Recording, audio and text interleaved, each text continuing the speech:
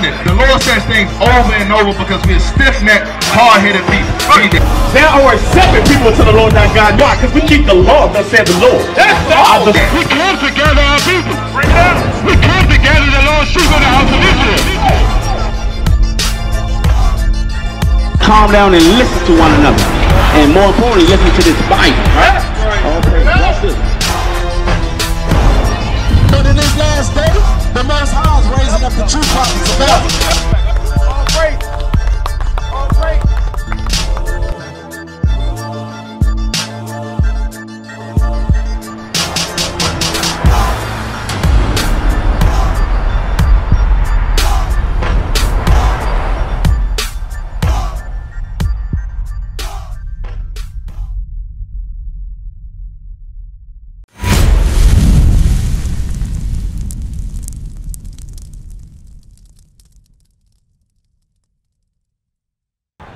So, like we just read, we are Israel united in Christ.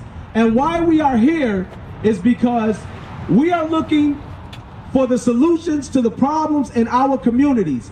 We have reached out several times to Pastor Carter, Dr. Carter, to, to have a sit down and speak.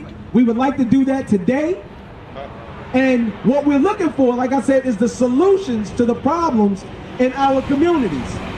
So we listened to the sermon today of Dr. McGuire. It sounded great. It sounded really good. All the things he said, we agree with a lot of them. But there's one fundamental thing that we are not doing that's missing in our church. Okay? Give me the book of First John chapter 2 verse 6. First John chapter 2 verse 6. Cuz we have to do something. We are all looking for salvation. Read. First John chapter 2 and verse 6. Uh-huh. He that saith he abideth in him, So we are saying that Christ abideth in us and that we abide in Christ. Right? Go ahead. he that saith he abideth in him, Uh-huh. ought himself also to walk, even as he walked. So if we say that we abide in Christ and Christ abides in us, then we have to walk as Christ walked. Right? So what was Christ walk?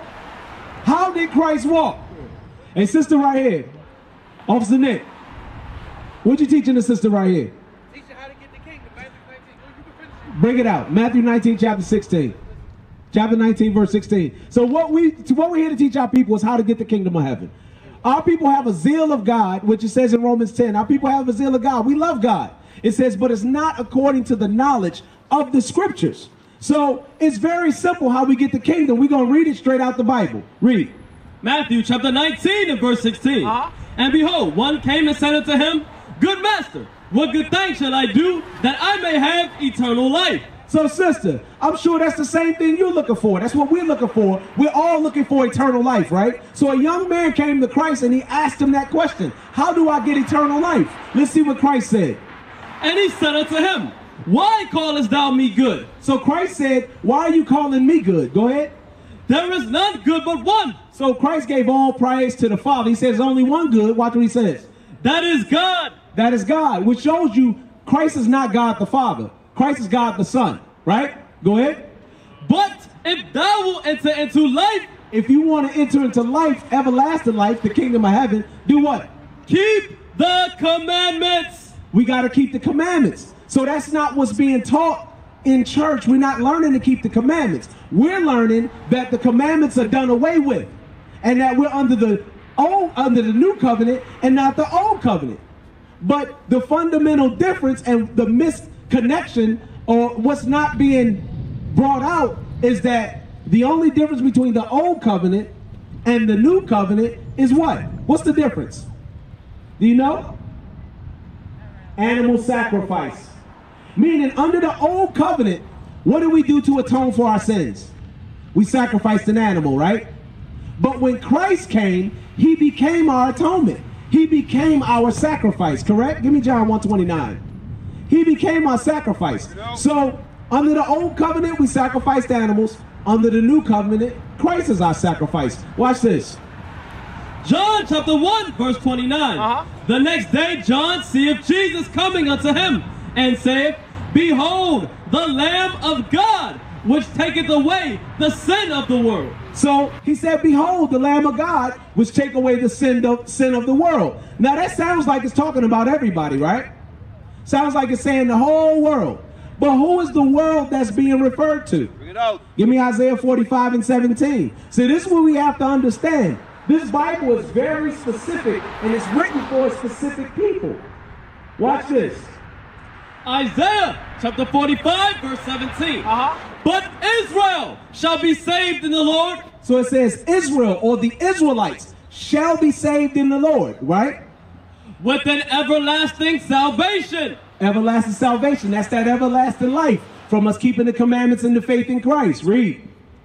Ye shall not be ashamed nor confounded. Uh-huh. Watch this, sis. World without end. So the Israelites are the world without end, that everlasting world that's going to go on forever at the return of Christ, if we're keeping the commandments and the faith in Jesus.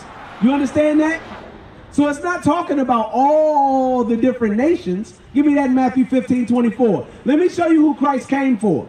It's very specific. So we have to understand who we are. We are those lost sheep. Read.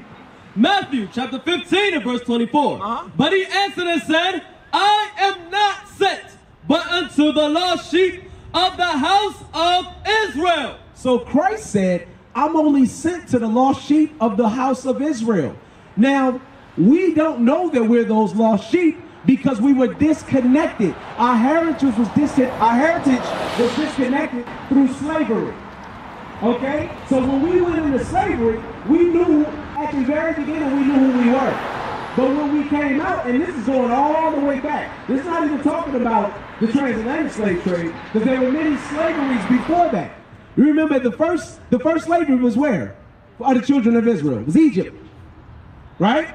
Then after Egypt, it was Assyria. Then we had other captivities. We had a Babylonian captivity. We had a, uh, a, um, a, a Greek captivity, a Persian captivity, a Roman captivity. When Christ was walking the earth, who was ruling? It was the Romans, right? So Christ said, I'm not sent but to the lost sheep of the house of Israel. Those that were scattered around the earth through slavery, he's coming back to save us. Okay? But in, in order for that to happen, we have to know who we are. We have to know that we are those lost sheep. Right? Give me give me uh, Matthew 18 and 11. Watch this. It's going to say the same thing. Now, if you read the NIV Bible, this verse is missing. They literally just took it out. They don't want you to know this. Read. Matthew chapter 18 and verse 11. For the Son of Man is come to save that which was lost. It said the Son of Man came to save that which was lost. The people that lost their name, they now call themselves black. Black is just a color. It's not a nationality. They call themselves colored. They call themselves Negroes. They call themselves African American, Afro American. Think about it. It's one, we talk about one people. Why do we have all these different nationalities? Right. We're talking about one people. That's because we lost our true nationality of being the Israelites when we were scattered through slavery. Now, why did were we scattered in slavery? Why did we go into slavery? Deuteronomy 28 and 15. Watch this. And this is how we know that we're the people of the book. Before you get that, I love what um was it uh uh, uh, uh Dr. um Dr. McGuire where he was bringing out second, second Corinthians. Give me Second Corinthians 4. Bring it out.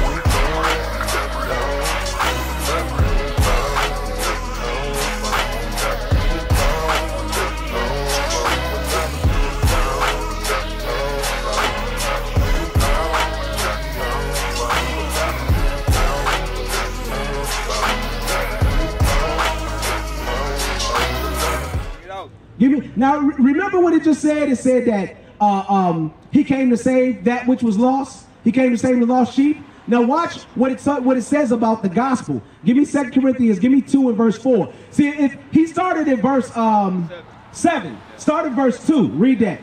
Second Corinthians chapter 4 and verse 2. Two. Uh-huh. But have renounced the hidden things of dishonesty, not walking in craftiness, nor handling the word of God deceitfully. So we have to be careful because some people handle the word of God deceitfully. Okay, meaning that they're teaching out of the book, but they're not teaching the correct doctrine. Okay? When you read Proverbs 4 and 2, it says that the doctrine of the Bible is God's laws. Okay? Read on. But by manifestation of the truth, commending ourselves to every man's conscience in the sight of God. But if our gospel be hid, Now watch this, sister. It said, but if our gospel be hid, who is it hid from? it is hid to them that are lost. Said the gospel has been hidden to those that are lost. Meaning what? Those lost sheep of the house of Israel. They lost their heritage. They lost their name. They lost their God. That's why today we do things like we celebrate Christmas. We celebrate Christmas. Christ wasn't born on December 25th. Everybody knows that now. We celebrate Thanksgiving. Thanksgiving is the celebration of the slaughter of the Native American Indians. Those are God's chosen people also. This is not a black thing. When you look at this sign, it shows you who the children of Israel are. There's 12 tribes to the nation of Israel. Blacks, Hispanics, Native Americans, Haitians, Puerto Ricans, Cubans, Dominicans, Guatemalans, American Indians, Seminoles, Colombia to Uruguay, Mexicans, Argentinians. There's a remnant scattered around the whole world. And the pastor brought out the Great Commission. Matthew's uh what 20, 19, 28. When he said, go throughout, uh, go throughout the world, teaching and baptizing in the name of Jesus. Why did he say go out and teach all nations? I'm gonna show you why he said go teach all nations. Give me Deuteronomy 4 and 27. He said that because the Israelites were scattered in all nations. That's right. Right? Remember, he said, I'm a, he's gonna watch this. Read. Deuteronomy chapter 4, verse 27. Uh-huh. And the Lord shall scatter you among the nations. So the Lord would scatter the Israelites among all nations.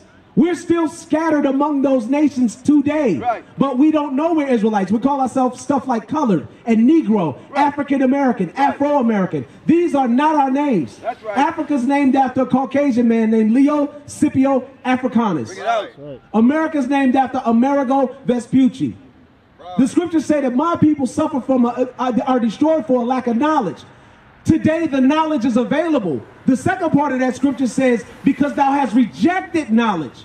So when our people come out and they hear this word of God coming out, and then they, they don't want to hear it, they just hop in their cars and leave, okay? They're rejecting the knowledge, okay? The scriptures tell you to be ready to hear every godly discourse. Meaning that if men are coming out of the Bible, you're supposed to come over and you reason with those men. Just like you're standing here listening, that's all we've tried to do. We've sent email after email. We have been emailing this church since 2019. Bring it 2019, we got read receipts showing that they've read the emails, but they won't respond. All we're asking for is to come in, sit down with the pastor, and go through the scriptures so that we can show them what we know, and then maybe they can show us what they know. And we can go back and forth about the scriptures and we can get it right. This is not a, we just want, this is not a, a, a- an attack. This is, we are men that love our people, we love the community, and we want to bring the solution to our community. We understand that the problem in Baltimore City and every other city where blacks and Hispanics dwell is because of one problem sin. That's why he said, if you want to get the kingdom of heaven, you have to do what? Keep the commandments. The commandments are not being taught. Give me Exodus 20 and verse 8. Bring it out. Give me Exodus 20, verse 8. Well, everybody knows these, these are the Ten Commandments. These are the basics. Right. There's more than 10. I can see that you love the Lord. I can tell that you were raised in a different time because of one thing. Just because you have a modest dress on. Right. Our sisters today, the younger sisters, they don't even know that. They don't know that that's a law of God. You understand? Read that. Exodus chapter 20 and verse 8. Remember the Sabbath day. So he said, remember the Sabbath day. We know that's the holy day set apart by God, right? Remember the Sabbath day. Go ahead. To keep it holy. Holy literally means separate. It also means clean, right? To keep that day clean and keep it separate from all other days. Read. Six days shalt thou labor and do all thy work. So we have six days to work and to make our money, right? Guess what the first day of the week is? Do you know? Look at any calendar. What's the first day of the week? Huh? Sunday, right? So he says six days we have to labor and do all our work. Sunday, Monday, Tuesday, Wednesday, Thursday, Friday. Read on. But the seventh day But the seventh day, Saturday, read, is the Sabbath of the Lord thy God. That's the Sabbath of the Lord thy God. So it's little things that have been changed. Now, Shiloh, New Shiloh Baptist has been around since 1902. In 1902, we weren't, we were what? 40 years out of slavery? So the doctrine that was being taught then was the doctrine that was taught to us when? In slavery. Right. We are still learning that same doctrine today. That's when we learn Sunday church. That's when we learn Christmas, Easter, Thanksgiving. We learned it's okay that you can eat anything. Okay? The Bible don't say that. The Bible gives us a dietary law. Remember when we said that the difference between the Old Testament and the New Testament was animal sacrifice? Well, guess what? That means that all the other laws and commandments are still in effect. That's right. That means that Christ, that in, in the Old Testament, said you're not supposed to eat pork. Right. You're not supposed to eat crab, shrimp, lobster. Right. Christ didn't die so we could eat pork. Right. He died for he died for the nation of Israel and gave us a chance at repentance that we can learn his commandments, keep them, so when he comes back, he would save us. He's not going to save those that are not being obedient. Right? That's why he said, Why call me Lord, Lord, but you're not doing what I told you to do? Right? He says, he goes, what did he say after that? Get away from me. I never knew you. He only knows us if we're keeping the commandments. Give me that first John 5 and 3. Because we say we love God, but it's a way that we have to love him. He told us, he gave us instructions on how to love him. Read. First John chapter 5 verse 3. Uh-huh. For this is the love of God, Since it says, this is the love of God. This is how you love God. How? that we keep his commandments. So when we keep his commandments, we show that we love him. It's just like if you have children and you tell your children to do something. And and number one, love it also goes right hand in hand with respect. So you tell your kids, look, when you come home from school, I want you to clean your room, do the dishes, take out the trash. Now you come home, none of that's done. But they're like, Ma, I love you, and, and want and want you to give them things. What they going what you gonna give them is a butt whooping. What you gonna give him is a punishment. Right. That's the same thing God giving us because He gave us instructions. We didn't follow the instructions, and now we're praying, asking God for things. And He's like, "Oh, I got something for you." One of the things He had for us was slavery. The thing, watch this, watch this. I'm gonna show you something, sis. What, let me. I'm, I'm gonna describe. I'm gonna show you Baltimore City and everything that's going on right here in the scriptures. Give me Deuteronomy 28, verse 15. Bring Watch this. Watch this. Deuteronomy. Have a, have a seat. Just open the window. Deuteronomy chapter 28 verse 15. Uh-huh. But it shall come to pass Meaning it's going to happen in the future, right? This is a future prophecy. It said, It shall come to pass. Go ahead. if thou wilt not hearken unto the voice of the Lord thy God. He said, God said, if we don't listen to his voice, his voice is this Bible. His voice is the prophet speaking, coming out of this Bible and giving the instruction. Read. to observe to do all his commandments Uh-huh. and his statutes which I command thee this day, that all these curses shall come upon thee and overtake thee. So the Bible said, hey, sis, the Bible said, God said, if we don't do his commandments, right? It says that curses would come upon us and overtake us. Now we're going to read some of this curses. Remember, Moses is talking to the Israelites. So we're going to read some of these curses and we're going to figure out if that fits us today. Verse 16. Verse 16 Cursed shalt thou be in the city, and cursed shalt thou be in the field. So he said the Israelites would be cursed in all the cities that they dwell in. Meaning, in those cities, you would have high crime rates. You would have uh, uh, uh, sisters getting abortions. You would have single parent households. You would have a terrible school system. You would have rape. You would have murder. You'd have drugs. All these things. That's being cursed in the city. It said in cursed in the field. Meaning when we were in slavery, that was a curse from God. We were cursed. In Maryland, the cash crop was um, tobacco. So here we were cursed in the tobacco fields. Down south, it was the cotton fields. In the islands, it was sugarcane plantations. Right? So that's cursed in the city, cursed in the field. Who is that talking about? It ain't those people that was o- that's over there living in Israel today. It's talking about the people that's here that was brought here in slavery. It's plain. Jump down to verse uh, 32. Watch this. Verse 32 Thy sons and thy daughters shall be given unto another people.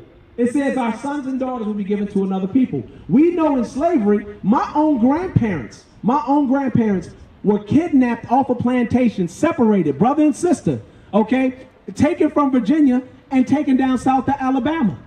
Okay? They were on they were given to other people. They would sell our kids on slave auction blocks. This is history. Right? Even today, even today, if if if a if a parent is deemed unfit, CPS, Child Protect, Protective Services, can come take those children. It's nothing that the parents can do. So it says our sons and daughters would be given to other people. That's happened to us. Give me verse 45. No, matter of fact, give me 37. Watch this. So these are the curses that came on the Israelites for breaking God's commandment. It goes all the way from verse 15 to verse 68. 68 is it brings it all the way home, though. It, it, it lets you know it's not talking about nobody but us. Watch this real quick. Verse 37 And thou shalt become an astonishment. It says the Israelites would become an astonishment. When you see something astonishing, you know what that is? When I was a kid, we didn't have all them tattoos. I'm 50. We didn't have, I didn't see people with all those tattoos and stuff like that in our community. That was white biker gang stuff. Right. That's who did that. Right. Okay? We learned that from the other nations. Now, we covered in tattoos, men walking around with their pants sagging, okay? Women have dress showing everything. That's an astonishment when you see somebody covered head to toe in tattoos with green and blue and pink hair. That's astonishing. An astonishment is our brothers standing on the corners selling drugs to our own people, killing our own people. That's astonishing. Read on.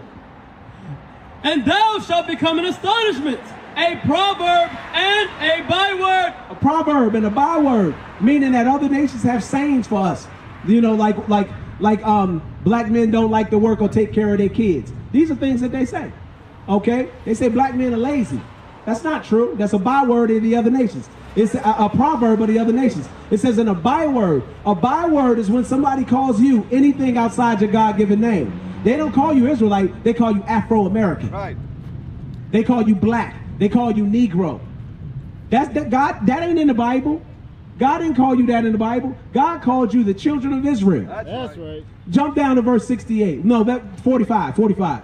Verse 45 Moreover, all these curses shall come upon thee, and shall pursue thee, and overtake thee. Why? Till thou be destroyed, because thou hearkenest not unto the voice of the Lord thy God. So it says all these things are happening because we won't keep the commandments. We refuse. We rebellious children. Read.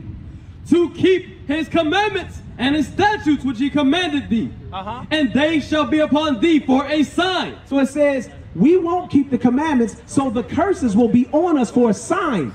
I know this is New Shiloh Baptist Church because there's a sign out front with the name on it. So a sign tells you what something is. So these curses serve as a sign in these days to show you who the children of Israel are. When you read these curses, be like, man, that happened to us. Man, that happened to us. That happened to us. And then you look in history books and go, well, the people that's in the land, none of this happened to them. Watch this. Verse 68. This is going to bring it all the way home. Verse 68.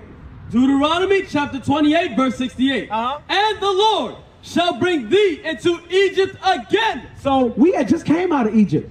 He said, but the Lord's going to bring you into Egypt again. Egypt has a meaning. The word Egypt has a meaning. Let's get what the word Egypt means. Give me that. Go ahead. Exodus chapter 20 and verse 2. I am the Lord thy God, which have brought thee out of the land of Egypt, out of the house of bondage. So Egypt was known as the house of bondage or the house of slavery. So he said, I'm going to bring you into slavery again. Watch this. He's going to tell us how. And the Lord shall bring thee into Egypt again Bring us into slavery again with ships. with ships. How did black people get from the west coast of Africa to America?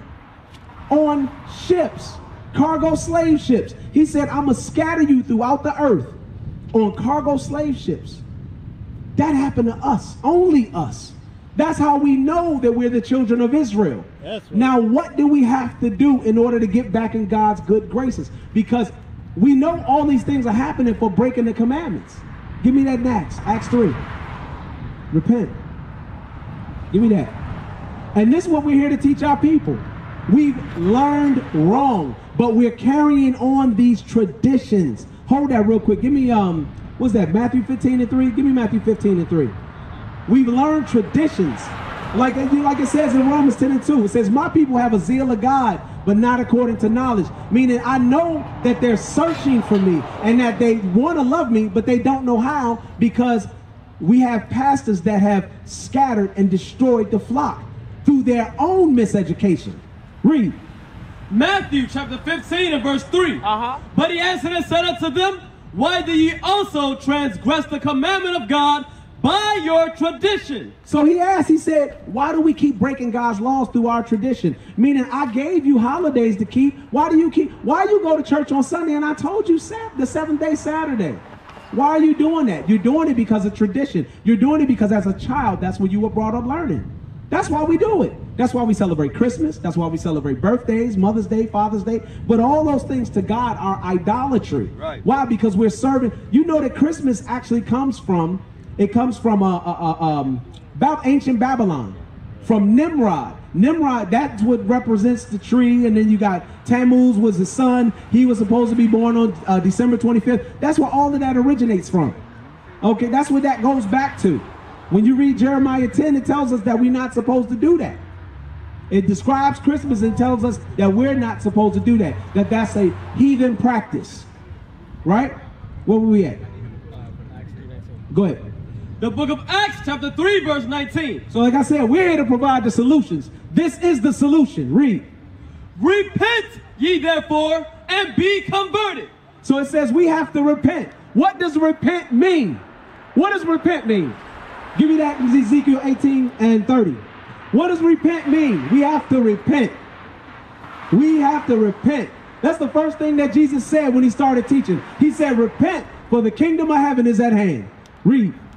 Ezekiel chapter 18 and verse 30. Uh-huh. Therefore I will judge you, O house of Israel, everyone according to his ways, Uh-huh. saith the Lord God.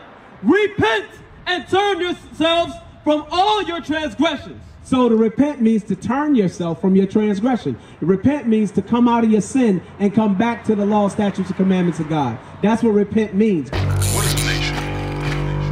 Nation is family. Nation is community. Nation is men leading by example. Nation is women's support. Nation is children with role models.